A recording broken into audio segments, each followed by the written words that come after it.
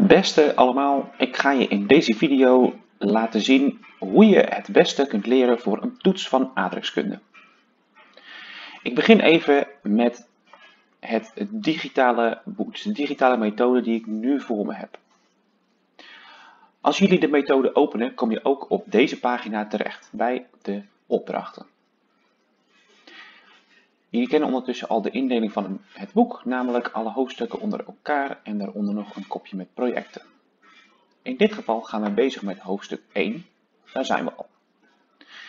Zoals jullie weten heeft elk hoofdstuk vier gewone paragrafen en die staan hier 1.1, 1.2, 1.3 en 1.4. Elke paragraaf heeft zijn eigen onderdelen die je moet kennen. Als ik bijvoorbeeld klik op 1.1 Sydney, dan kom ik uit op de pagina met alle opdrachten. Dit weten jullie ook al. Hier vind je de gewone opdrachten die jullie in de les wel eens maken of thuis. Dan hebben we nog een aantal andere knopjes hier staan en die zijn voor nu belangrijk. Er staat hier bijvoorbeeld samenvatting. Met daaronder maak de samenvatting van de paragraaf af. De samenvatting is eigenlijk een overzicht van alle belangrijke onderdelen uit de paragraaf. Deze samenvatting die je hier vindt, die is nog niet compleet. Die moet je eerst zelf gaan invullen.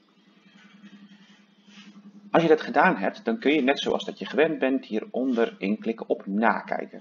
Waarbij je dus kunt zien of je de samenvatting goed gemaakt hebt.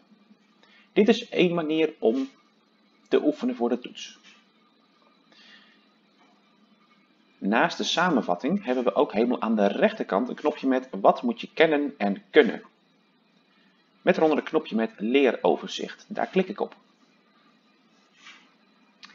Eigenlijk is hetgene wat belangrijk is voor de toets dit wat er hier staat.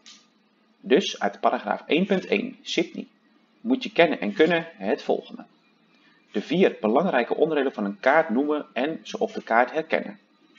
Nou, die kennen we allemaal hè. De titel, de schaal, de legenda en de noordpijl.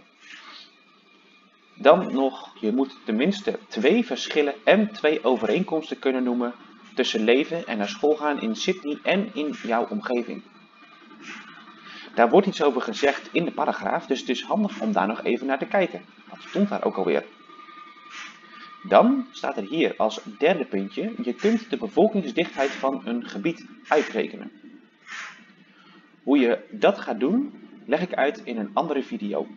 Daar zal ik wel even een linkje naar plaatsen in de omschrijving van deze video. Als laatste staat er nog, je kunt met de schaal of de schaalstok van een kaart de werkelijke afstand tussen twee plaatsen op die kaart berekenen. Ook daar zal ik nog wel een andere video over maken waarin ik precies uitleg hoe je dat nou eigenlijk doet. Dan hebben we als laatste puntje nog staan de begrippen. Dit zijn uit paragraaf 1.1 de begrippen die je moet kennen. Je moet ze uiteraard twee kanten op kennen. Dus als ik vraag wat is de betekenis van bevolkingsdichtheid, dan moet jij kunnen uitleggen op de toets dat dat betekent het gemiddeld aantal inwoners per vierkante kilometer. Als ik dan vraag welk begrip past er bij de volgende omschrijving en ik geef als omschrijving het gemiddeld aantal inwoners per vierkante kilometer, dan moet jij kunnen bedenken dat dat gaat over de bevolkingsdichtheid.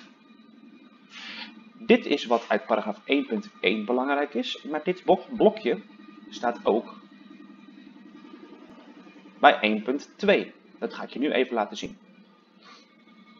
Kijk maar, hier hebben we weer die herhaling, we hebben weer een samenvatting en we hebben weer het leeroverzicht. Ik neem deze nog even als voorbeeld en daarna snap je hoe het werkt. Nou, wat moet je kennen en kunnen? Je moet het verschil kunnen uitleggen tussen uitzoomen en inzoomen. Dat is heel makkelijk hè? Je kunt het verschil uitleggen tussen absolute en relatieve afstand. En zo staan er nog een heleboel andere onderdelen die je moet kennen en kunnen. Over het papieren boek ga ik je in een andere video iets uitleggen. Ook die zal ik in de omschrijving plaatsen. Voor nu is het hier even genoeg. Succes!